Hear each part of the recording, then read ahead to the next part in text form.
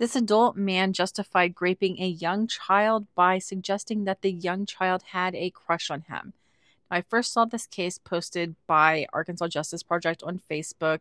I highly suggest that you check them out, but I wanted to share it because I feel like it just points to the importance of taking these SA cases seriously and what happens when we don't take them seriously. So it's important to note that this case has been sealed and that very little information is available in this case because of the type of case that it was even to begin with. So I'm just going off of information that the Arkansas Justice Project was able to share. So these are excerpts from the child victim interview. Since the summer of 2017, when the incidents were alleged to have occurred, the victim has been exhibiting signs of behavior common with young victims of SA Mom states that the victim has become distant, angry, and defiant. After being notified, the victim's mom sat down with her and began to inquire as to where she learned such behavior because the iPad had already been searched and there was no porn on it. It was found that a past babysitter, who we'll call Jay, was watching the victim one night when Jay left to go to the store and left the victim with an 18 year old by the name of Brady Castle, Jay's boyfriend. When the victim was sitting on one side of the couch and Brady was sitting on the other, Brady got up, walked over, and sat by the victim. The victim indicated that Brady put his hands down her pants and touched her vagina, which is what she called vagina. The victim stated that more happened than just Brady touching her vagina. The victim stated that she kissed Brady's wiki. Wiki is how the victim refers to penis. The victim's mom then asked if anything else happened, and the victim indicated that she performed a sex act on the subject.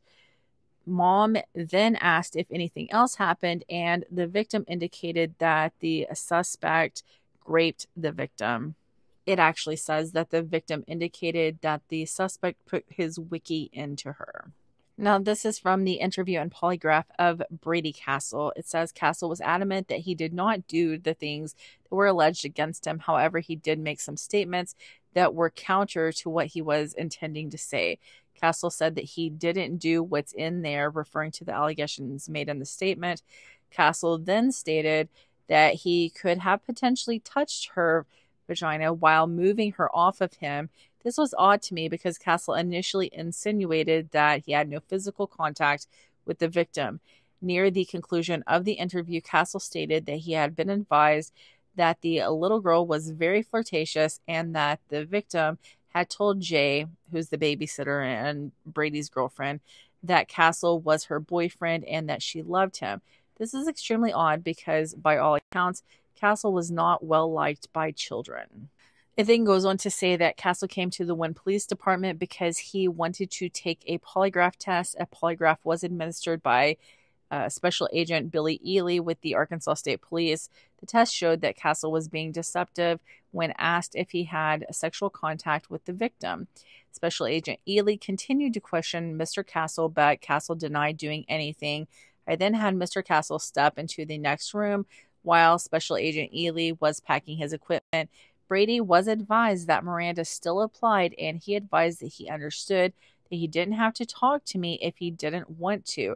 I then began to question Castle as to why he was being deceptive with Special Agent Ely. Castle was adamant at first that he didn't touch the victim in any sexual manner. Castle eventually began to confess that he did touch the victim's breast, but that he didn't touch anywhere else Castle then stated that he touched her breast and vagina, but that he didn't put anything inside the victim's vagina. Castle stated that he knew it was wrong and stopped almost immediately. Castle then wrote a letter of apology for, as he states, touching you inappropriately, which is a quote. Castle states numerous times throughout the letter that he wishes it would never have happened.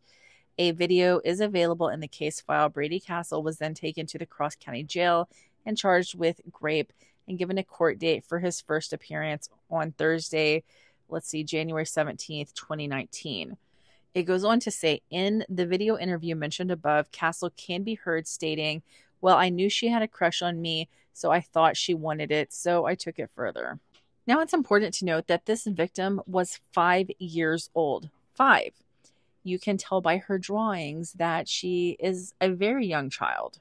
Brady Castle was 20 years old when he was charged with rape in 2019. Now, Brady Castle accepted a plea deal, but you won't see his name on any sex offender registry. And there's a reason for that. You won't see Brady Castle's name on any sex offender registry because Brady Castle was allowed to plead guilty to second degree battery. And for second degree battery, that's not a sexual offense. He doesn't have to register as a sex offender ever.